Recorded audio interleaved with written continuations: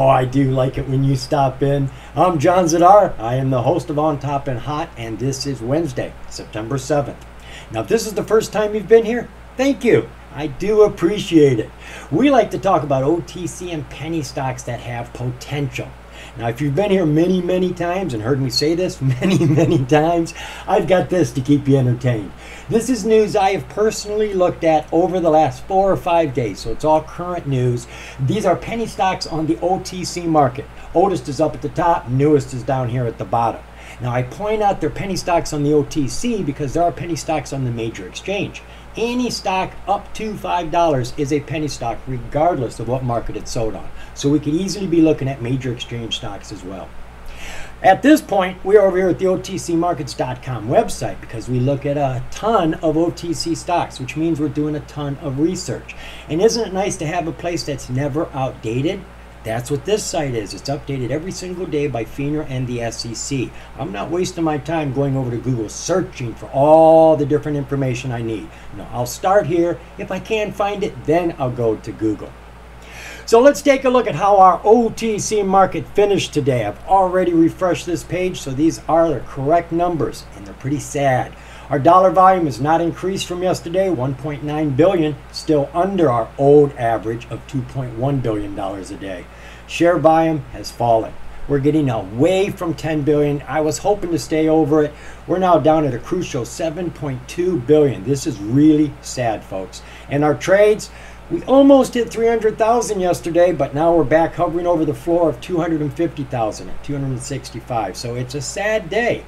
Thank God this doesn't affect every single stock on the market. There are still stocks that make good gains, even on these sad, bad days. And I've got a few of them to share with you. Come on.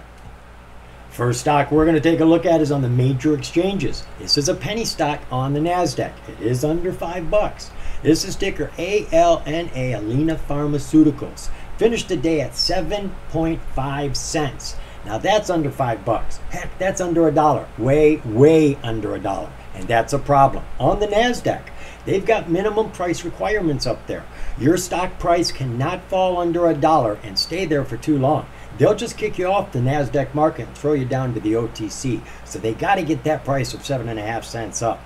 Now, she had a filing come out on the second of this month Lots of big, big news in there. So this was actually flying today. I know there's only 3% on the board, but she was up 150% earlier. She did come down fast and furious and slammed into her 200 and bounced right off of it. And right now, after market hours, she is still resurging. But I'm a little confused, and I'll explain why here in just a minute. So what does this company do? Well, they tell us over here that Allena Pharmaceuticals is a biopharmaceutical company that leverages its novel oral biological platform to discover, develop, and commercialize first in class oral enzyme therapeutics for difficult to treat metabolic diseases. And Allena is currently conducting a phase two trial program on one of their drugs right now.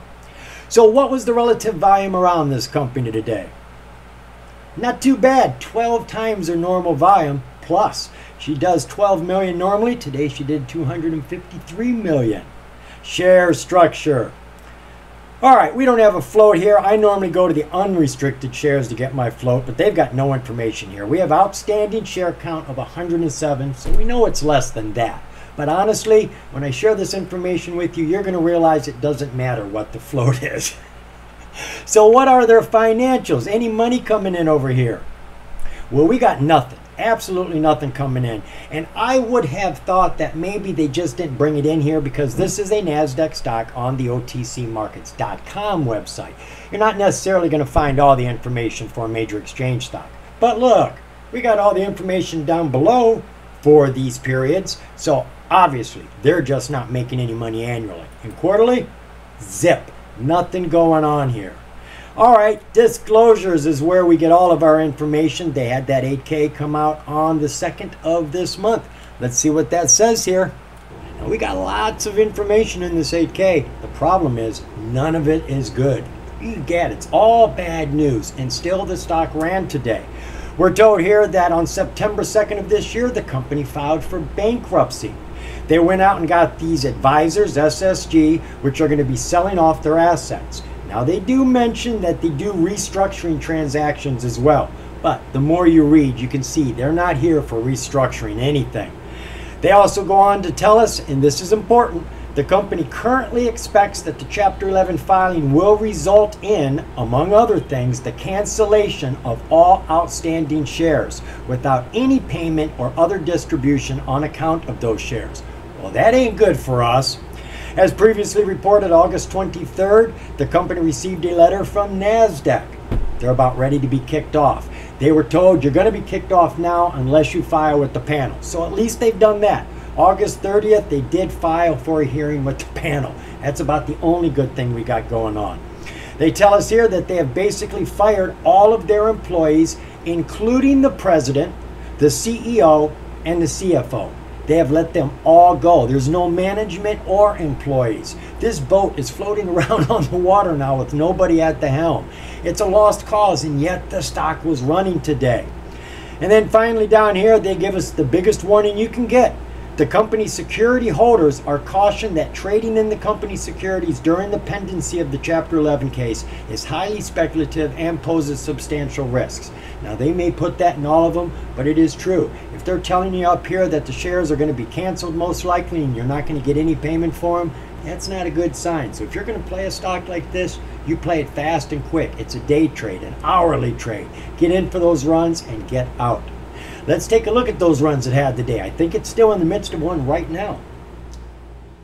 We're over here now at Thinkorswim, my free trading platform, looking at ticker ALNA.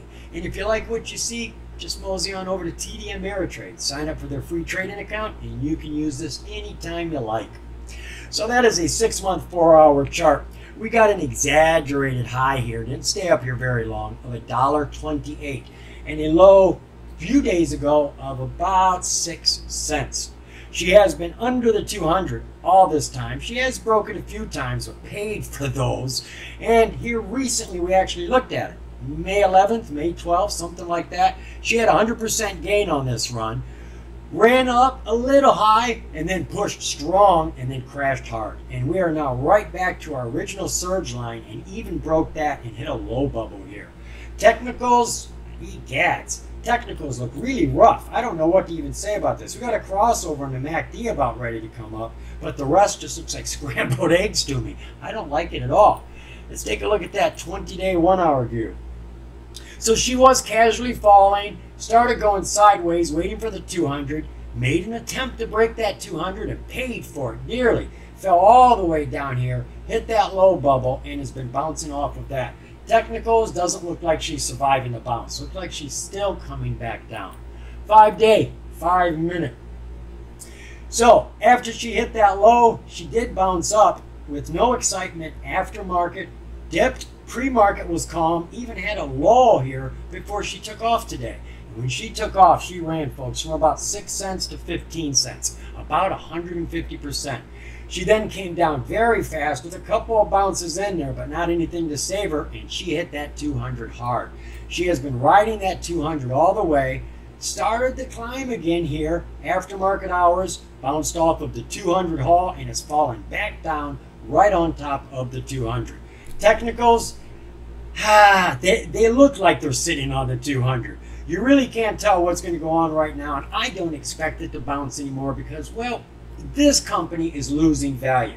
Now, what I mean is, most bankruptcies don't go bankrupt. The companies just use it as an excuse to take care of debt. And they restructure, and somewhere down the road, they get back in business and that stock takes off. So you can end up getting some good deals. But initially, when these bankruptcies are announced, you get these huge runs. And I can't explain them. So you get bankruptcy notifications off of the NASDAQ, and you get a run while it's on the NASDAQ. Then they get kicked off the NASDAQ because they can't keep the price over a buck. It falls from the shark pit down into the piranha pit, and we attack it, and it gets another bounce down on the OTC market until it crashes. And that's when you can pick it up. You pick it up after the big surges, comes down, everything gets quiet, the restructuring working, nobody's saying anything. That's when you buy the stock. Maybe not everything, but a good amount. And then when it starts to climb, you can add to your position. And when the restructuring's done, she's off and running, and you've got yourself a good payout on your investment. So I don't believe anything more is going to come from ALNA. This just is a atypical play for a bankruptcy stock. So just remember that when you see a new bankruptcy on the market, as soon as you hear it, you may want to consider it's going to have a run, but take your gains. Don't get greedy. Take your gains on the uphill. Don't wait for it to start falling because when they fall, boy, they fall fast. We're going to keep this ball rolling looking at another penny stock on the NASDAQ. This is ticker SIDU, Sidus Space Inc. She had some big news come out today. Actually, I think it was underappreciated. She is under five bucks, so she is a penny stock, and she's over a dollar, so she's not in any danger zone on the NASDAQ. She looks good. She's at $3.05 with about 15% gains today.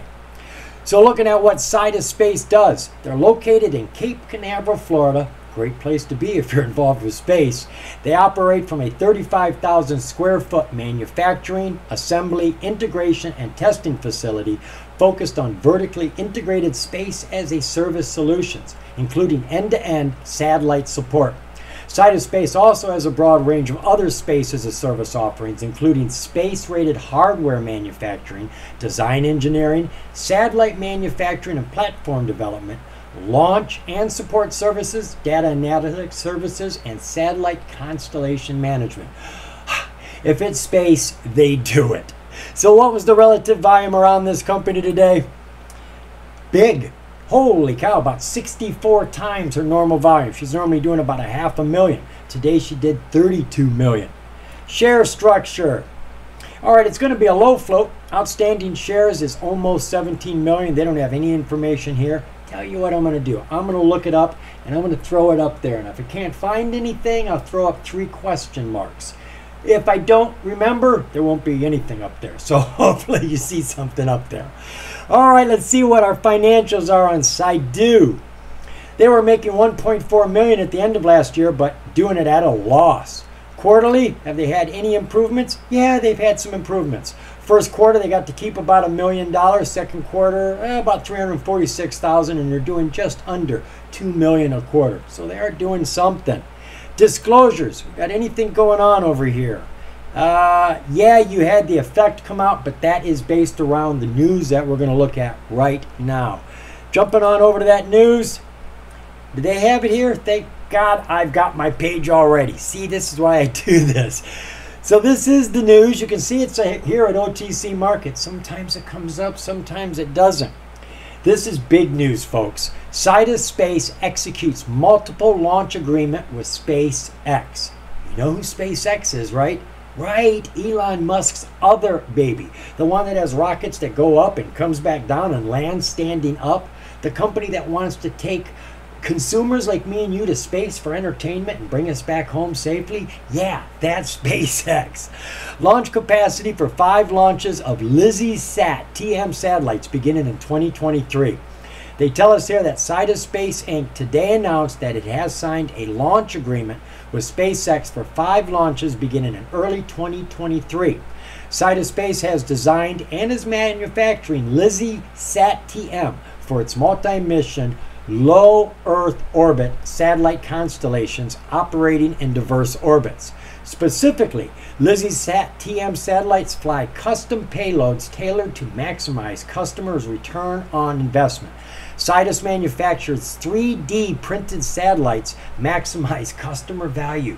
Imagine that, they're making satellites, printing them out with 3D printers.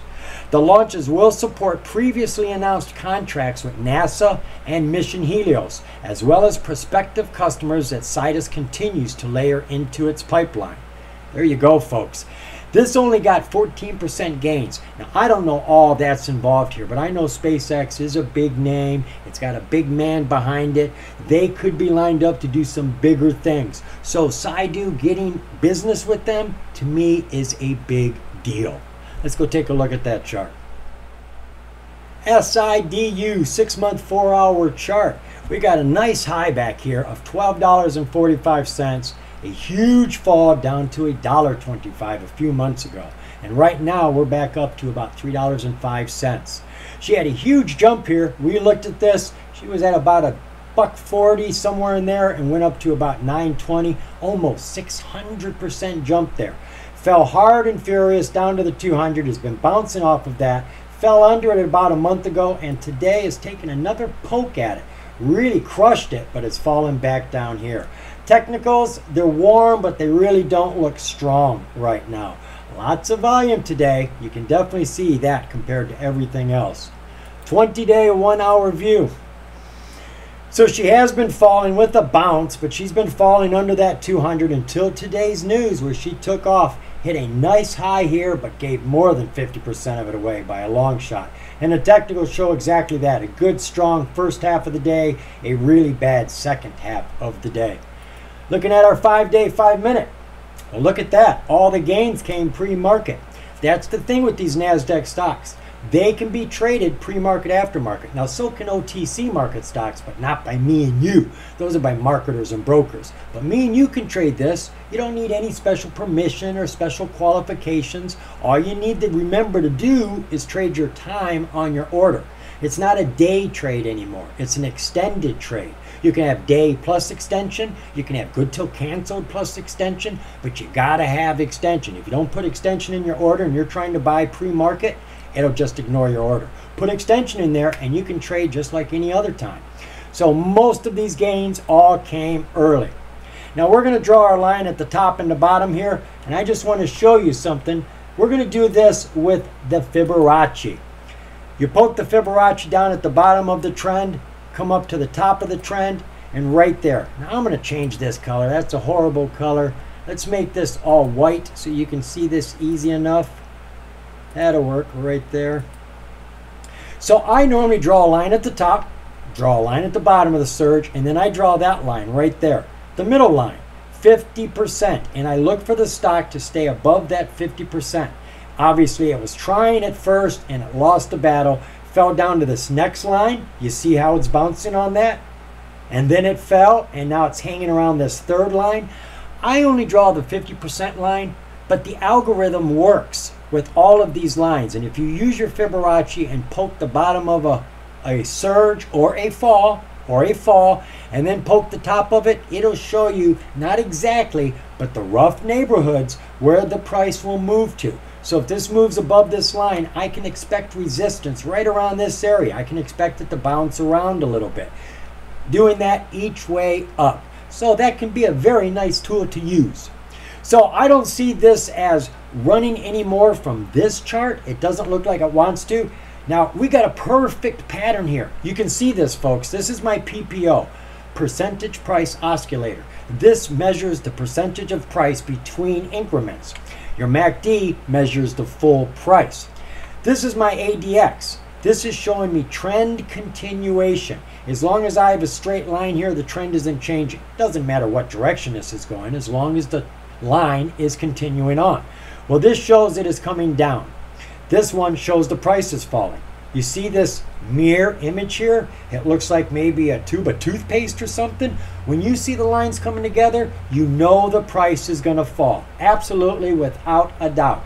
They'll get real close and then they'll start to spread apart because the trend is changing. This will change direction. And the price starts to go up. This changes direction. And you'll see those spread out. And when they spread, guaranteed your price is going to go up. So we're watching that pattern right there to start to spread. Now you don't get in as soon as it starts. Give yourself some confirmation.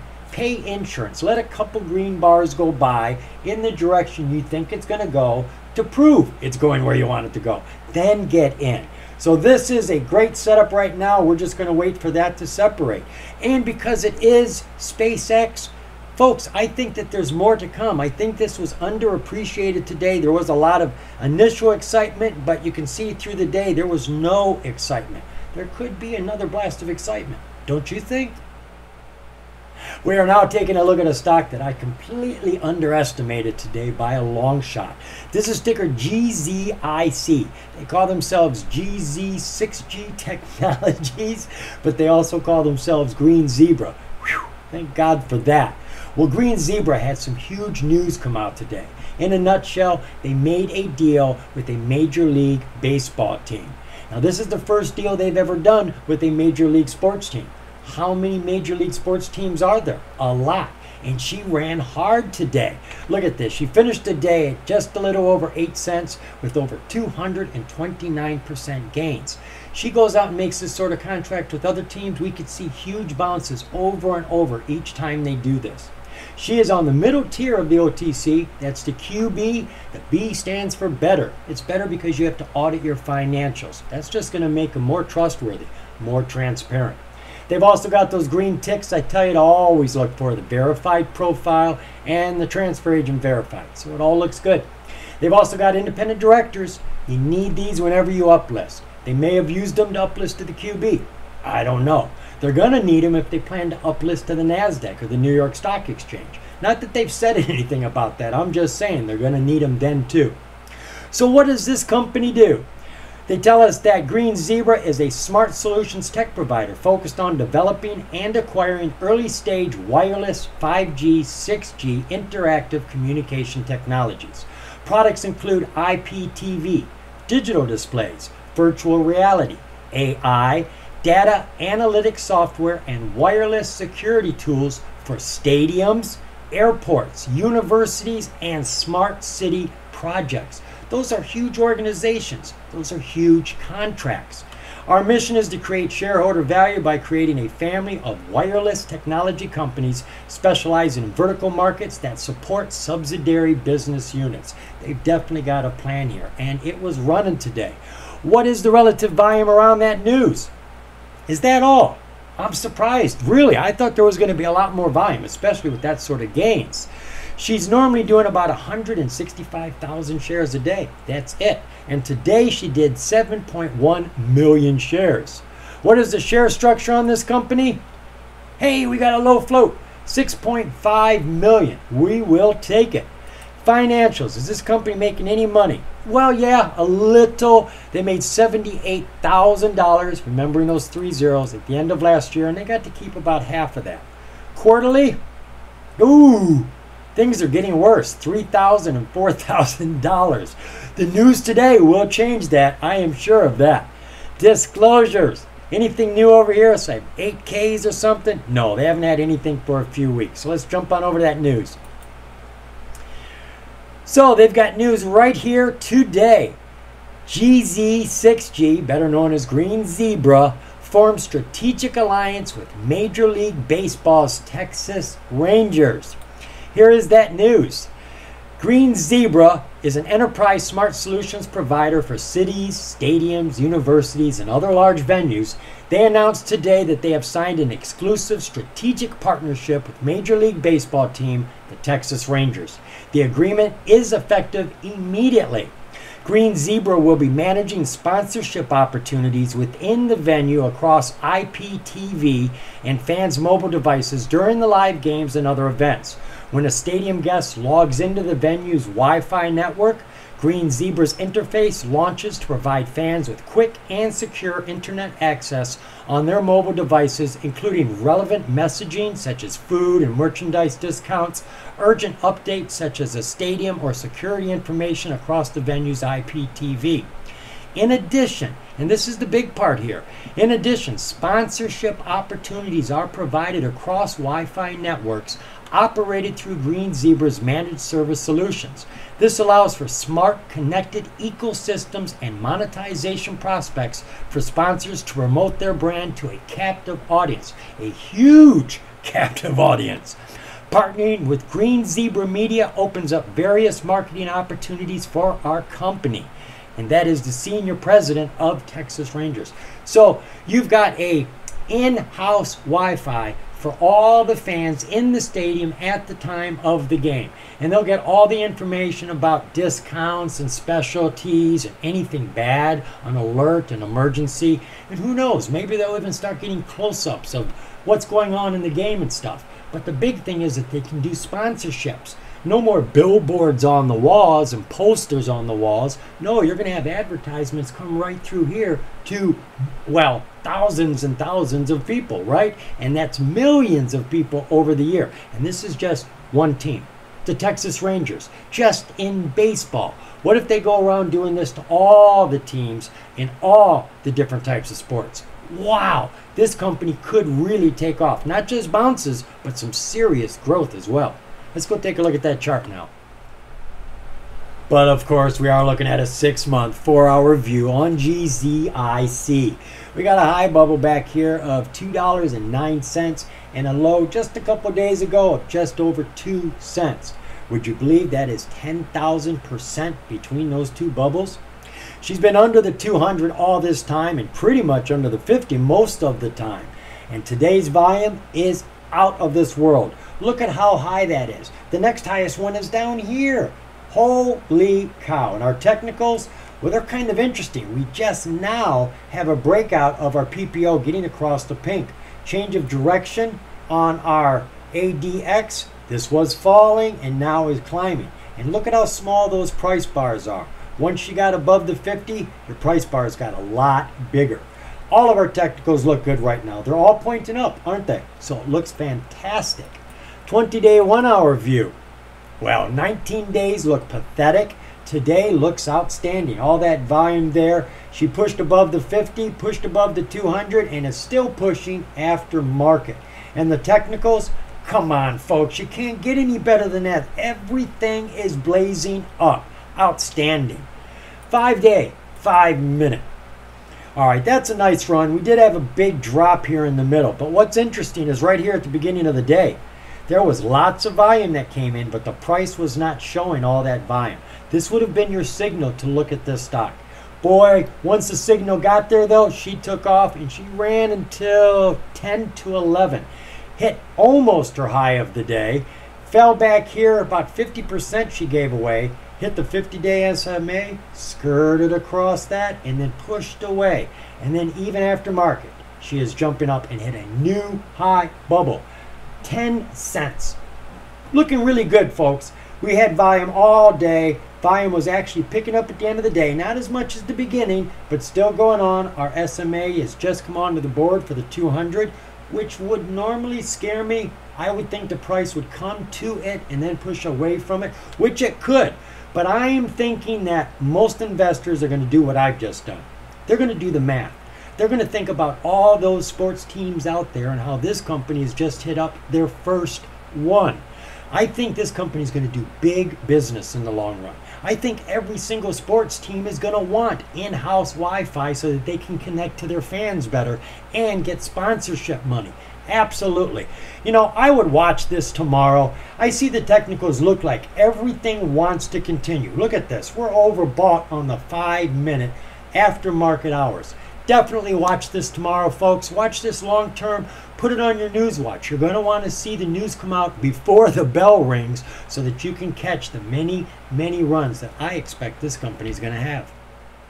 Now, before you go anywhere, I got a couple of other stocks I want to share with you. You know, I have to whittle this down at the end of the day. I can't show you all the stocks I'm looking at. I got two other stocks that I was considering. We didn't have time for them, so I'm going to give you the ticker and the catalyst, and I'll let you take it from there.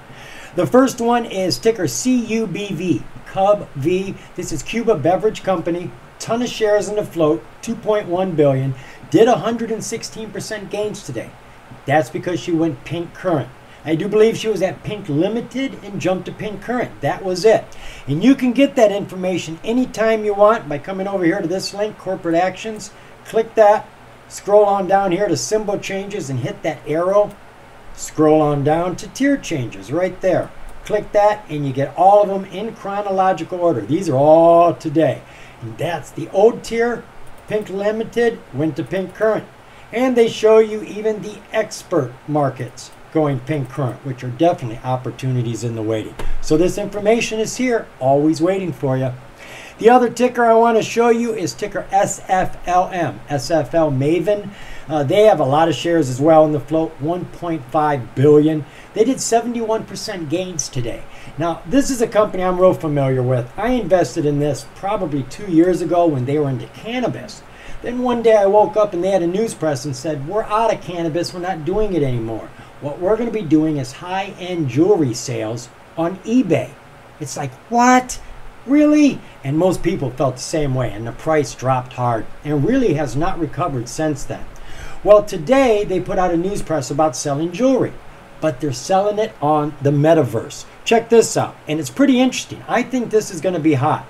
SFL Maven, a leading provider of high end luxury goods, is proud to announce our new products for sale in our metaverse store located in the Decentraland of Metaverse. They're going to be selling wearables in the metaverse. They are going to have wedding uh, wearables and other things, but they're going to have this patented technology. Listen to this.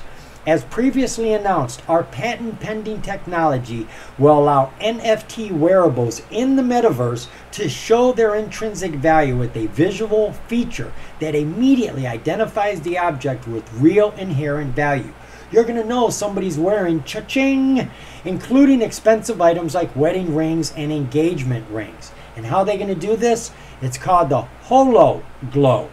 If you're wearing something expensive that's real, it's going to glow. And your your character in the metaverse is going to have this glowing jewelry, this glowing wedding band.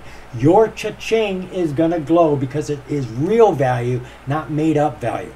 And that is a brand new thing on the metaverse. Right? So I think that could be hot. People like to show off.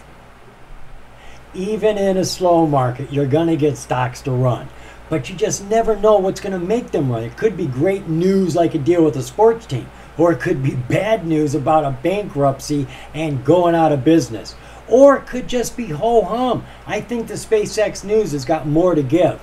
But what do I know?